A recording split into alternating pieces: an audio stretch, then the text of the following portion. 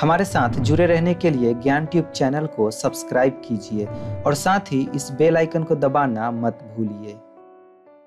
क्या आप भी फ़ोनपे एप्लीकेशन को डाउनलोड करना चाहते हैं? क्या आप जानना चाहते हैं कि फ़ोनपे को हम इंस्टॉल कैसे कर सकते हैं? तो फिर इस वीडियो को देखते रहिए। हेलो, नमस्ते, मेरा नाम है सनोज। तो चले इसे देखने के लिए चलते हम अपने फ़ोन पे सो so, यहाँ पे अब हम अपने फ़ोन पे हैं और यहाँ पे हमें जो है अपने फ़ोन में फ़ोन पे एप्लीकेशन को डाउनलोड करना है इंस्टॉल करना है। तो इसके लिए सबसे पहले तो आपको अपने फ़ोन में प्ले स्टोर को ओपन कर लेना है। प्ले स्टोर को हम ओपन कर लेते हैं और यहाँ पे आपको ऊपर में सर्च का ऑप्शन दिख रहा है। यहाँ पे आपको सर्च में टाइप करना है फ़ोन पे। यहाँ पे आप देख सकते हैं जिस तरह से मैंने टाइप किया है फ़ोन पे उसी तरह से यहाँ पे आपको भी टाइप कर लेना है। उसके बाद सर्च करना है। यहाँ पे सबसे ऊपर ही आपके सामने फ़ोन पे का एप्लीकेशन आ जाता है, देख सकते हैं, इस पर क्लिक करना है।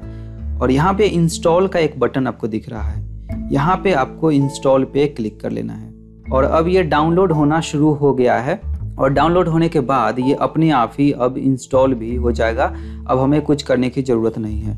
मैंने फ़ोन पे का लिंक जो है, उसे डिस्क्रिप्शन में भी डाल दिया है तो वहाँ से आप क्लिक कर सकते हैं। और क्लिक करने के बाद डायरेक्टली आपका ये पेज खुल जाएगा। और यहाँ से आप इंस्टॉल कर सकते हैं। सो so, यहाँ पे अब आप देख सकते हैं कि ये अब डाउनलोड होके इंस्टॉलिंग हो रहा है और यहाँ पे ये इंस्टॉल भी अब हो गया है। तो इस तरह से आप फ़ोन पे एप्लीकेशन को डाउनलोड कर सकते हैं। अभी हमारे फ़ोन में भी आ गया होगा। चलिए देख लेते हैं। तो यहाँ पे आप देख सकते हैं ये हमारा फ़ोन पे एप्लीकेशन यहाँ पे आ गया है। तो इसी तरह से आप अपने फ़ोन में फ़ोन पे एप्लीकेशन को डाउनलोड कर सकते हैं इंस्टॉल कर सकते हैं।